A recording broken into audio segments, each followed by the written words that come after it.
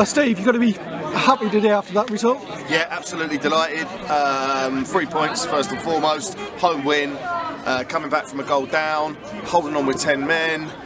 Yeah, and obviously the derby element as well. Yeah, you know, if uh, Carlsberg's did Mondays, it's not a bad one. Yeah, because actually it was, a, it was a bit odd one. Like the first half, a bit of a soft penalty, and I think probably after that we shaded that first half. Second half, we talked to them, and we came and took the game to them, uh, deserved our lead, and then the only time they showed anything was the last five minutes, about 10 minutes or so, and then we, we mopped it all up, no problem. I mean, yeah, so just break that down. First half, I think whether it was a penalty or whether it wasn't, there wasn't a lot we could do about it. it, it you know, Luke, if it's hit his hand, it's hit his hand. There's nothing he can do. It's harsh. I think other than that, we've definitely given as good as them first half. Possibly had a few more goal goal um, opportunities than them. Um, I mean, let's be honest. George has been given man of the match, so I, I don't think we can deny he's played his part in the game. You know, so thank you. So fair play to Rusthall. You know, they, You're the bar lady for them. They uh, they threw a, threw a little bit at us. Um, yeah, going down to ten men. It's not ideal. Again, I think it's a soft red card. I'm not, saying, I'm not saying it's not a red card, but it's a soft red card. And then the amount of stoppage time, which again, we've been here before, haven't we? Uxbridge, Glebe, this time we was able to hold on and get the job done. Yeah, but we, we were still playing at 12 minutes past five. Yeah. That tells um, you everything you need to know. One of my coaching team told me that the second half was clocked at 61 minutes. Now that's continuous without the whistle stopping. Now I understand there's a new directive. I'm not blaming anyone, but there's being fit to do 90. It seems like you've now got to be fit to do 110. Yeah, it was. But overall, I think we deserved that win. I mean, yeah, you're talking about George winning. Well, he had a great game because up till at a time, he just controlled it. He caught everything the way he did.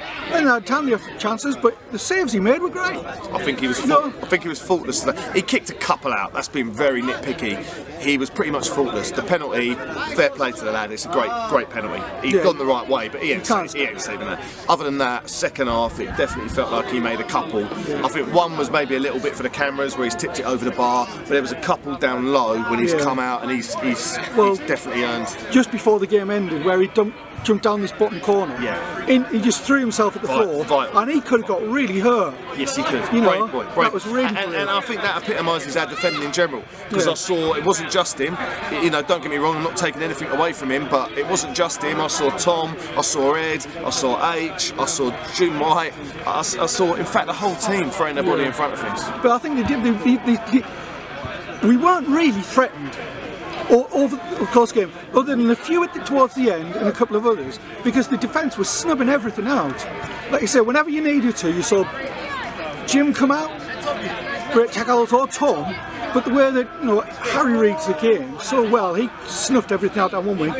And like you said, on the other side, I just thought that Ed had a, a brilliant game. I think, I think, you, know, you can't fault any of them. Ultimately, their goal has come from a dead ball, strike of the ball. Yeah. That's the only goal they've scored. Now, did they have other chances? Yeah, they'd have other chances, but you're not going to get through 90 minutes of a football match without the other team having other chances. From my point of view, we're 1 0 down at half time, which is difficult. We haven't, under my tenure, found ourselves in that position. Um, we've normally been we've normally we've normally been in front. Um, haven't always held it. But the challenge was we knew they were down to 10 men because of the sin bin. Um, and, and, we managed to make that count. And, so and what, that was, what did you actually say to them in that situation though? Because you came out a totally different side, right on the front foot from the off in the second half. We, we felt know, you know, this this is. I don't think anyone's looking for any massive analysis here, but they were causing us a little bit of a tactical problem, which involved their right back. Uh, he was the guy that got sin-binned. So we knew one of their key tactical ways of playing out was going to be denied, and we knew that we probably had about five or six minutes to really capitalise on that, and we were able to. So that, that was the message, I ain't going to lie. That was what we said at half time. Mm. We also challenged the boys, amongst other things, to try and get a set piece goal because we work on set pieces. We've got some boys that are very good at it, and as of yet, we haven't scored one other than Bill's header against Glebe, yeah. which actually wasn't one of our set piece moves. Yeah. You know, but, but today we got we got the set piece as well. I think I think Jim's been credited with it on Twitter. I personally think it was Harry Hudson. Uh, but either way, I don't really care. Yeah. It's gone in the goal. Well, it's like we said today, it doesn't matter about the performance or anything. Today's the, the result for everybody else. Yeah. Not necessarily you guys, but for us, it's just you've got to win the game. And it's great knowing you do that again. I think putting on a show is secondary. Get, getting the wins, particularly at home, is, is primary, and we've done that. We've, we've got the win, and uh, everyone's a lot happier. You know, we're what? We're an hour after after final whistle. There's got to be still 60, 70 people here. So that's that's what winning does. I thought the other thing you did was you were quite controlled because in the past we've never, some of the players haven't quite got it and haven't played with any passion. But I thought we did today, but in a controlled way, so that almost it was it was quite tense that first half because you were going at it, but not in an aggressive, let's beat them just a very controlled, sensible way. I think the connotation of the derby, everyone thinks it's got to be blood and thunder and, and everyone throwing themselves in it and giving that little bit extra. And I actually looked around the change room before the game started and I said, look, I, I don't think I need to dwell on, I don't think I even need to give you that message because I look around the team and everyone gives 100%. You've got a hell of a lot of commitment And. If anything, I just says you've got to be a little bit controlled, you've got to be a little bit calm. What, what you can't do is let the occasion get to you um, and, and end up end up losing your heads. And, and I don't think we did. No, because I mean, it's like I think the, the, the first time we saw any real passion was when Tommy um, probably endeared himself to the fans forever when he grabbed the flag and snapped it at the end. And until then, it had been really controlled, but that's, it just showed what it meant. I think. Mate, uh, Tom had the armband today uh, and Saturday, and he's led exemplary on both occasions. Um, proper warrior at, at, at the heart of our defence. Him and Jim have got a great partnership. George behind them got man of the match. You know, Leps and uh, JP in front of them. I mean, that's just a great base foundation to, to defend Well, from. what Luke was doing really well was he was winning every ball because he just put, I don't know how he does it, but he puts his body Yeah. between the play. He won so many balls by just going in, pushing them off with his body and getting the ball and going. Yeah, yeah, he did that so often. Yeah, he does. Yeah, he uses his body really well. Can't, can't, and that's why he's such a versatile player. Yeah. You could put him up front and he'd do that. You could put him on the wing and he'd do that. He- yeah, I mean, I think the red card has probably cost him man the match. Definitely did, because up till then he was going, we were going to pick him. Yeah. It was only because he had to go off, and then um, George had brilliant last five Yes, he minutes. did. Yes, but he Shear did. did it. Yeah, and I'm, otherwise not, he would have and I'm been not trying to take it away from George, and, No, and I think there's five or six, or let's be honest, there's ten or eleven candidates that could have Yeah. got it. Um, but yeah, Luke, Luke, Luke was pivotal for us, particularly with Walder not being here. You know, we, we've got through the weekend without Yeah. Trevor Walder. Let's, let's Well, that's that. the good point we can make because you did. You could say we missed them because their their presence and phys- physicality, but the guys you had in made up for it anyway. So it wasn't like a an absolute loss. We got round it. You worked round it and did well. with Yeah. you had, and you didn't miss those two players. No, well, we probably did, but everyone stepped up. It, it, That's you know, what I mean. Yeah, just- you got round you worked Saturday. around it. It's squad, isn't it? Squad game. Squad game. Yeah, like JP came in the middle. Yes, he Did did. brilliantly. Someone who knows a little bit about the derby and that element of things, and he was desperate to play.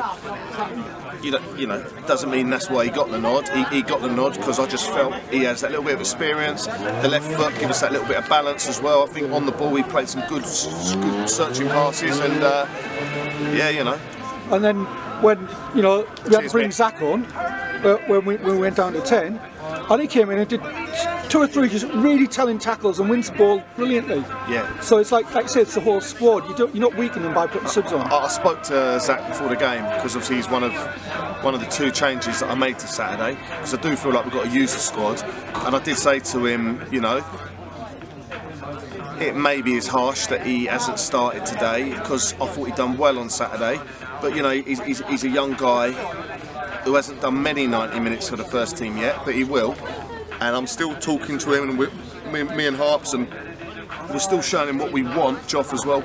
We're still showing him what we want. You chipping off, are you? Okay. We're, we're still showing him what we want tactically, um, and he's, he's taking it on board. So it's all learning curves, and he was ready when he was needed, and he, he yeah, like you say, helped get us over the line. Yeah. Squad game. But uh, like I said, even like it's made such a difference having Regan here and wandering. But you, again, you had Rory you brought back in, and he was great on the other wing. Yeah. You know. Yeah, well, we got a good balance. So, Yeah. I mean, you know, it was wasn't ideal that Reed had to come off, but when you've got an explosive player who's having to do that much running, cramping up is probably inevitable, especially when you're, you know, we are such a lot of him. And, you know, he's, how unlucky was he, by the way, that when he rattled the bar with? Oh, anybody else, it bounces up, hits the post, comes in the net. Yeah. Just yeah. that's happened in the last two games. We've done that now. Yeah. Hit the post and it goes out, And, um, and that know, would have been a stunning goal. He's probably going to be the worst kept secret because everyone's going to know and no one's going to want to play against him. But you still got to stop him. So, Yeah, yeah, shame he had to come off. But, well, excuse Yeah. me, it gave Mo a chance to come on. And again, And- he's great, isn't he? He's to, he's been a real find. Yeah, again, and, and thanks to Croydon Athletic, Lee Roots. Um, he's a Croydon Athletic player, and um, you know, he's someone who we've managed to dual reg because I felt he just just fitted a position that we didn't have, and he's a lovely lad, and um, yeah, hopefully we can get him get the best out of him. Because you're talking about everybody will know about Regan done. But Rory's like the, the big secret find. He's his real secret weapon. Well, I can't take any credit for that because he was here when I got here. Yeah. I know exactly who he is because I remember him from here from Belvedere, and he's breath of fresh air. All, all the boys are like it's, it, that's not even really worth picking anyone out because who can you pick out as not not not Well, being a but we were saying who's man of the match, and like you say, there was half a dozen nominations we thought we could have had. Yeah, Because I mean, quietly again, Billy goes and gets another goal. And plays really well without Yeah. actually got drawing on attention. He having a great game. Yeah. Then you got Festus playing up front. Yeah, he yeah. did really well. yeah. In Fe- Festos has come back from not kicking a ball before this weekend to doing back to backs and uh, yeah, you know. We're talking about Rory being good, but um, he's just the hidden secret that you've talked. You've talked about say everybody's going to know about Regan now, but Rory's just a secret weapon that's nobody's heard of, and then you get Rory and Billy again. Yeah, I mean, to say no one's heard of Rory, I think people that know the SCEFL League well, because he played for Belvedere, he's played for Holmesdale. He's not one that I can take any credit for at all because he was here when I got here. Uh, I'm just blessed to have him. He, he's, he's absolutely fantastic, um, an absolute worker, and um, it was great to be able to bring him back in, fresh legs, you know, Yeah. just, just, just to freshen it up a little bit. And then, like I say, he set up Billy's goal, and that's just Billy again. He scored yet Yeah. again. Yeah, yeah, yeah. He's just like he can't stop scoring Top moment. goal scorer. He's the Yeah. Trevor McCready of 23, 24 season at the minute. It is, isn't he? Um, and it's brilliant because last season we were probably a little bit over reliant on Trev's goals, and this season we're sharing them around a little bit more at the moment. So that's got to be good for everyone, hasn't it? Yeah, and like like you say, you, Bill's doing his job, but he, like Festus up front, and he's like he's been great since he got back, and he's not actually played where he's supposed to play.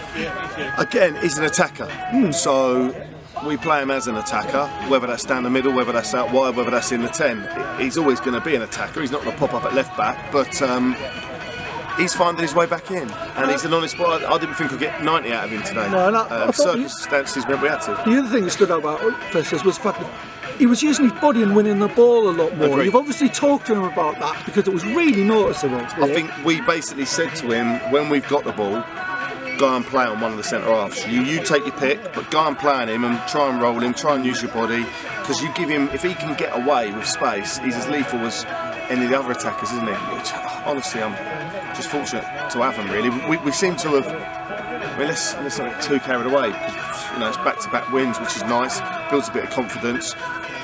We're far from being the finished article yet. But I think we've got a good squad to be relatively successful. Yeah, it's like I, I think I said to you on Saturday. First team last season this season probably about level, to be honest, because we lost some good players. But the squad is so much stronger. Okay. The, the breadth of that squad is really strong. Well, I have complete confidence in everyone that was in the 16 today. And on top of that, no Trev, no Walder, no Brad. There's probably someone else. I hate it when I name names because I leave someone out. But, you know, we're talking about 20 odd players that are all more than capable of putting on first team shirts. So, Yeah, because it's uh, almost like you can pick your 11, like you did today almost, your 11 to suit the game. Like you're saying about putting JP, because he's got that in the middle, you've, you've got not a luxury, but you've got that that opportunity, shall we say, to be able to pick pick more than relying on just 11 and hoping everybody's fit. Well, I think as everyone starts to understand how we're trying to play and they start to understand the system, well, then it is a little bit easier to move people around because, like, take JP as an example. He's played left back, but he understands what we need if he needs to play holding mid or if he needs to play wide left or number 10. And um, I think all the boys are starting to understand, and then, and then what happens is your leaders on the pitch, they start communicating. You know, you guys at the back line start talking to the midfield, the midfield start talking to the attackers, and that's progress, isn't it? that that's true. And what's noticeable as well is you've got people like Luke and I know he was needed, but with Jack, who yeah have got this reputation of just tackling everybody, but actually they're playing in a much more controlled way than we've ever seen them when they played against us. You know, Trev, today, sorry, Luke today was just so calm and collected. It was untrue. When, when has he played against us? Luke has against when you when you played as a Crowborough Ah, yeah, did he? No, I wasn't. I wasn't with Crowborough then. because we give him absolute Yeah. pelters whenever he's played Okay. us. Well, there you go. I mean, when he's on your side, he epitomises everything you kind of want. So he's on our side. That's all that matters. he is. You hate. He's I um, miss him for a game now, so that's a bit, bit Yeah, of a shame. he's Robbie Savage, isn't he?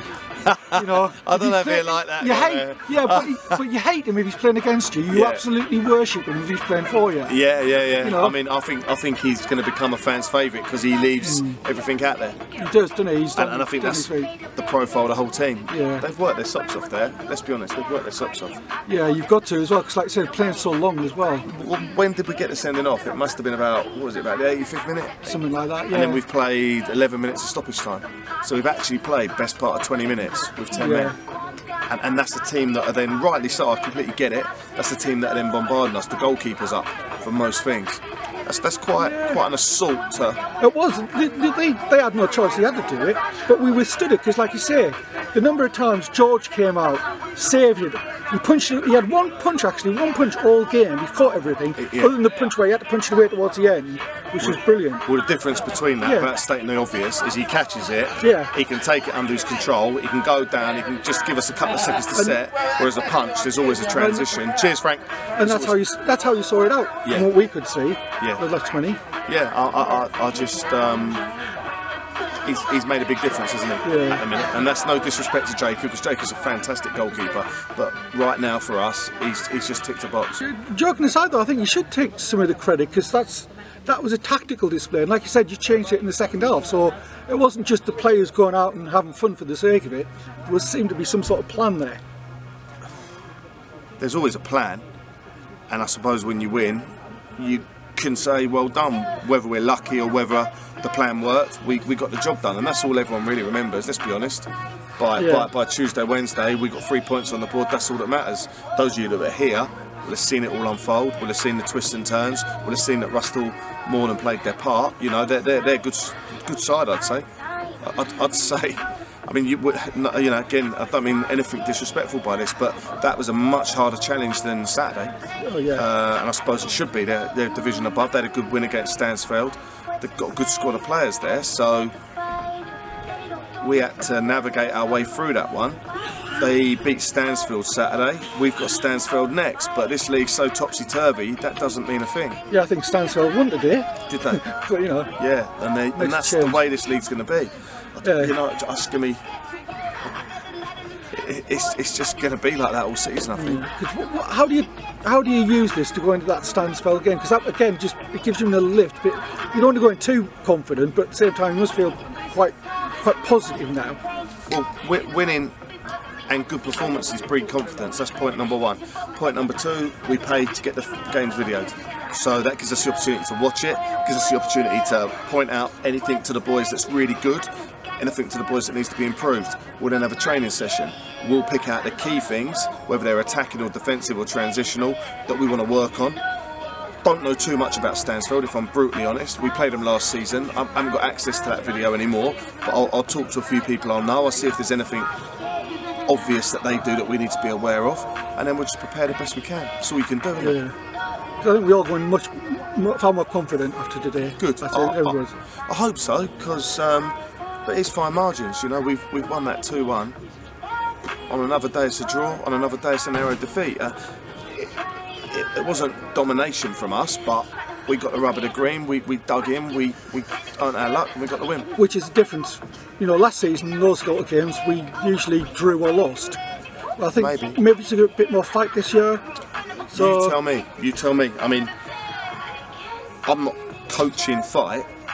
Joff and Steph aren't coaching fight. Something you've got or you haven't got. It, it's 80% the same personnel. well, Um, you Yeah, but me. you could have could have said um, We the one thing. let, us be honest. Let's this time last year, exactly the same fixture, we won one 0 Yeah. So to be honest, it was another close Yeah. game. They're always close games. But I think the other difference was um, we didn't cave in and panic like we did in like like Uxbridge and um, Okay. we actually defended right till the end and we're still going to have to attack again and use the ball down. We, we've been working on So that's a confidence thing. we, we've been working on what we do about the ball. So hopefully that will improve. Yeah. But just to be clear on that, because people will look at lazy people will look at the Uxbridge and the Glebe games and they'll go, oh, Tunbridge Wells have got a massive problem. Well, just to be crystal clear, Uxbridge, the game after us, won 6-1 in the Yeah. league. They then played Corinthian Casuals in the next round of the FA Cup and they beat them 6 1. They then won 2 1. They're undefeated in the division above us and they bashed a couple of good sides. Yeah. So, even though that was very disappointing, the fact we was actually 2 0 up is probably Yeah. more of a shock. It's like, I think the fact we didn't again, in that game I said to you it was um, till 90 minutes we would we'd done our job against Uxbridge. Well, know, today's you- another example yeah, that you've got to be you've got to be prepared to go for 110 minutes. That's the one thing we're starting to learn. So yeah, we'll, we'll go and do a bleep test on Yeah. Wednesday. the things like that. Yeah. Well, hopefully that's going to get them fitter for Stansfeld because I think everybody just like, do we have to wait that long now? That's a frustrating thing. Uh, it doesn't do us any harm. We can we can Yeah. just 48 hours to recover, get a training session in, and then we're, we're ready to go. I hope obviously Luke will be missing uh, Willie actually Monday. He might be alright for Saturday because it'll be a week from the. So hopefully we go into next week with everyone available, as far as I'm aware. And that gives you real selection problems now because I don't know who you, I don't know who you take out the squad to be honest. Well, I'd rather have that headache than the headache Yeah. of where the next win's going to come from. Yeah. Well, hopefully we know where the through from Stansfeld. Yeah. All being well. Yeah. right. Well, that's brilliant then. Cheers everyone.